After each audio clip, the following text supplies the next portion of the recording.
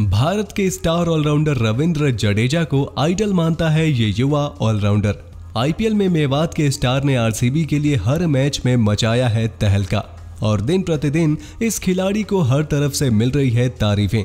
दोस्तों, हम बात कर रहे हैं आरसीबी के ऑलराउंडर शहबाज अहमद की। हालाँकि शहबाज आरसीबी से पिछले साल जुड़े थे, लेकिन उनकी प्रतिभा को पहचान इस सीज़न में मिल रही है। लेकिन दोस्तों, बहुत कम लोग इस बात को जानते होंगे कि शहबाज अहमद आईपीएल में आने से पहले से हरियाणा मेवात में एक पॉपुलर फेस हुआ करते थे, लेकिन अपने सपने को पूरा करने के लिए उन्होंने बंगाल की ओर रुख किया।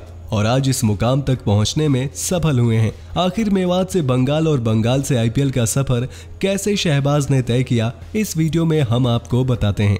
शहबाज अहमद का जन्म 12 दिसंबर उन्नीस सौ चौरानबे को मेवात के एक छोटे से गाँव सिकरावा में हुआ था। उनका परिवार एक सामान्य परिवार से ताल्लुक रखता था और शहबाज का बचपन गाँव में ही बीता, जहाँ वो अपने दोस्तों के साथ क्रिकेट खेला करते थे। और वहाँ उनके खेल की सब तारीफ़ करते थे। शुरू शुरू में शहबाज दूसरे क्रिकेटरों की तरह ही गाँव गाँव में खेलने जाते थे।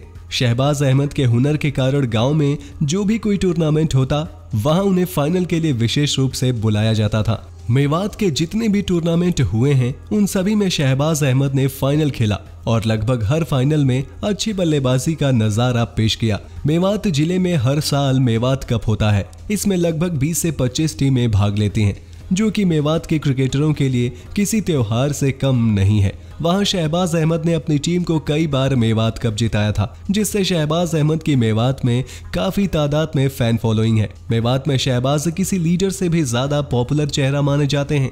जब भी वहाँ कोई टूर्नामेंट होता है, शहबाज अहमद को देखने लगभग हर मुकाबले में बहुत ज़्यादा मात्रा में दर्शक आते थे और शहबाज भी मेवात के दर्शकों को हर मैच में अपनी बल्लेबाजी से खुश कर देते थे। लेकिन शहबाज अहमद की कामयाबी का सबसे ज़्यादा श्रेय गुड़गांव ज़िले के सोहना शहर में खेली जाने वाली सोहना लीग को जाती है, जिसमें लगभग 30 से 35 टीमें भाग लेती हैं। यहाँ भी कई टीमें आयोजकों को पैसे देकर या फिर आपस में बातचीत कर शहबाज अहमद को क्वार्टर फाइनल या सेमीफाइनल या फाइनल जैसे बड़े मैचों में शामिल कर लेते थे। इस लीग में शहबाज ने पहले सीज़न में अपनी इंद्री की टीम को चैंपियन बनाने में अहम योगदान निभाया। फिर दूसरे सीज़न में शहबाज मेवात की टीम की तरफ़ से खेले, लेकिन उनकी टीम उस सीज़न की उप विजेता रही। फिर तीसरे सीज़न में शहबाज ने एक बार फिर मेवात की तरफ़ से खेला, और इस बार फाइनल में अच्छी बल्लेबाजी करते हुए उन्होंने एक शतकीय पारी खेली। जिसके बाद मेवात की टीम ने पहली बार ट्रॉफी जीता और यहीं से मेवात के लोगों को शहबाज अहमद का नाम सुनाई देने लगा। मेवात में शहबाज की पॉपुलरिटी बढ़ गई। अगले सीज़न भी फाइनल में बाएँ हाथ के बल्लेबाज ने शतक ठोका और अपनी टीम को दूसरी बार चैंपियन बनवाया और शहबाज के नारे पूरे गाँव में लगने शुरू हो गए। लेकिन उनके करियर का सबसे बड़ा टर्निंग पॉइंट तब बना जब उन्होंने सोहना लीग के छठवें सीज़न में पंजाबी कॉम का कप जीतने का सपना पूरा किया। दरअसल हर साल पंजाबी एक से बढ़कर एक खिलाड़ी इस लीग में लाते थे, परंतु पंजाबियों की टीम क्वालिफाई भी नहीं कर पाती थी। पर एक सीज़न में मेवात में लड़ाई झगड़े के कारण मेवात को छठे सीज़न में एंट्री नहीं मिली थी। ऐसे में किसी तरह पंजाबियों की टीम ने शहबाज से आग्रह किया कि वे उनकी टीम से ज़रूर खेलें। और शहबाज ने पंजाबियों के कहने पर न केवल टूर्नामेंट में शिरकत किया, बल्कि उनका बरसों का पुराना कप जीतने का सपना भी पूरा कर दिया।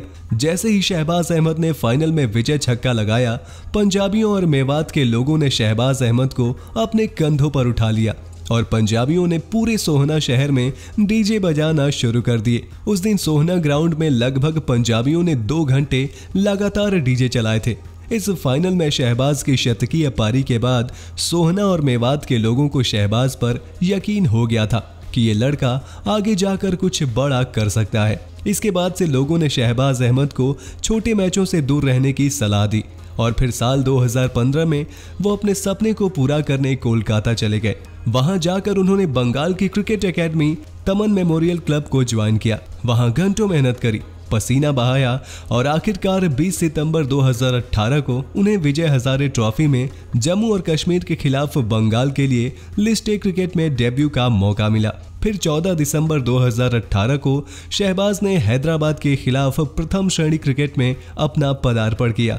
और 24 फरवरी 2019 को हरियाणा के खिलाफ सैयद मुश्ताक अली ट्रॉफी के ज़रिए बंगाल के लिए अपना टी ट्वेंटी डेब्यू भी कर लिया और डोमेस्टिक सर्किट में लगातार शानदार प्रदर्शन करने के कारण शहबाज को इंडिया ए की टीम में भी शामिल किया गया। लेकिन शहबाज अहमद के इतने सालों की मेहनत का सबसे बड़ा फल तब मिला जब 2020 के आईपीएल सीज़न में popular team Royal Challengers Bengaluru ने बाएँ हाथ के ऑलराउंडर पर भरोसा जताते हुए उन्हें अपने साथ 20 लाख की बेस प्राइस पर शामिल कर लिया। हालाँकि पहले दो सीज़न में उन्हें ज़्यादा कुछ करने का मौका नहीं मिल पाया, लेकिन आरसीबी की फ्रेंचाइजी उनकी काबिलियत को भली भांति जानती थी। इसीलिए इस साल हुए मेगा ऑक्शन में फिर से आरसीबी ने ही अपने पुराने खिलाड़ी को दो दशमलव चार ज़ीरो करोड़ की मोटी रकम पर खरीदा, जिसके बाद आईपीएल 2022 के पहले मैच से ही ये युवा खिलाड़ी अपना नाम और पहचान दुनिया की सबसे बड़ी लीग में बनाता जा रहा है। बाएँ हाथ के इस ऑलराउंडर ने सात मैचों में बयालीस के औसत से एक सौ इकहत्तर रन बनाए हैं। लेकिन शहबाज की सबसे बड़ी खासियत यही है कि उन्होंने सारे रन हमेशा मुश्किल हालातों में आकर बनाए हैं और हर बार अपनी टीम को संकट से बाहर निकाला है। और ये ऑलराउंडर एक अनसंग हीरो की तरह आरसीबी के लिए मैच विनिंग परफॉर्मेंस देता जा रहा है। तो दोस्तों, अगर आपको भी लगता है कि शहबाज अहमद ने आरसीबी के सक्सेस में बड़ा रोल प्ले किया है तो हमारी इस वीडियो को लाइक ज़रूर कीजिएगा। और ऐसे ही शानदार खबरों के लिए सब्सक्राइब कर लीजिए हमारे YouTube channel cricket in India को। वीडियो अच्छी हो तो इसे लाइक करें, शेयर करें और बेल आइकन को प्रेस करना बिल्कुल ना भूलें।